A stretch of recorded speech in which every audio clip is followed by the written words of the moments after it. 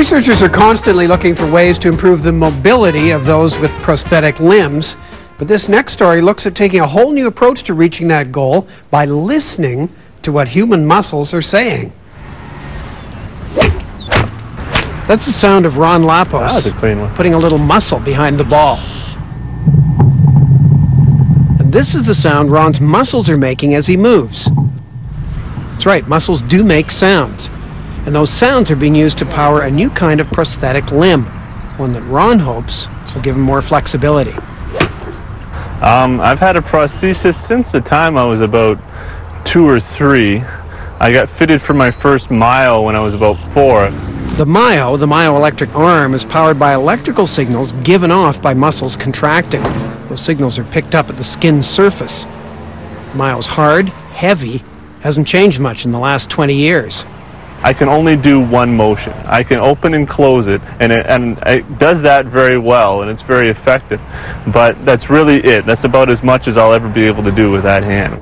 So um, I'm going to put this sleeve on. Yeah. Ron's now part of a new round of tests to build a better arm, research that could revolutionize the performance of artificial limbs. The new prosthesis that we've devised here at Bloorview MacMillan is one that's based on muscle sounds as opposed to the electric signals from muscles.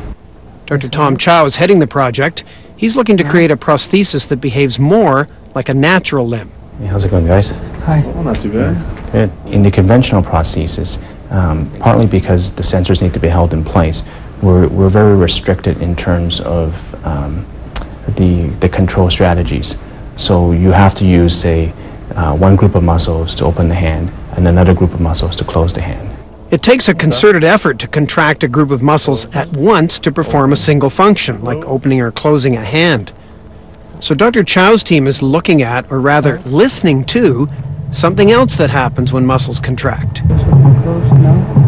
Close, open, close. where we're looking at what we call the muscle sound, which really is a, uh, a vibration. So the muscle is actually shaking uh, when it contracts. Jorge Silva has found a way to measure those vibrations and translate them into sound. Because we're getting sounds from all different muscles in the forearm, we don't necessarily have to tell a user, you must use your flexor groups to do this and your extensor group to do this. We can tell them, just give us a contraction that you can repeat, and we can assign it to one task, and give us another contraction that you can repeat, and we can assign it to a different task. So it's much more natural for the user. Right now, Ron's signals are being recorded as he opens and closes a prosthetic hand.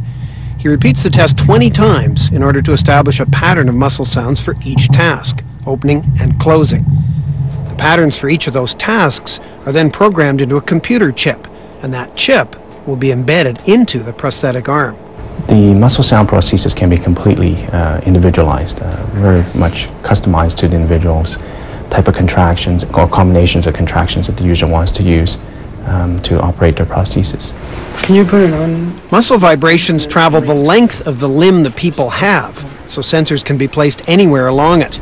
Couple that with a softer material that rolls on like a sock, and it makes for a much more comfortable prosthetic. Because the device can pick up movements of individual muscles rather than clusters of them, Dr. Chau foresees a prosthetic that'll do what a natural limb does.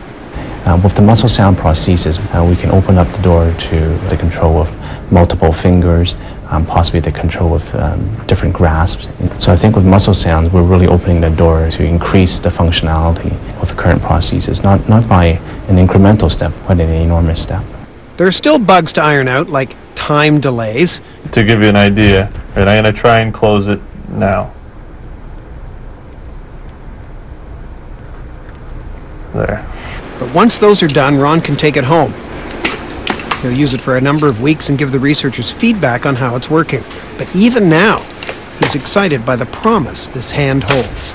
It's, it's pretty neat. It's it's really it's the first really groundbreaking thing that has come along during my lifetime. The muscle sounds offer a possibility for something significantly better than what I'm working with now, and I'm really hopeful that it'll work out.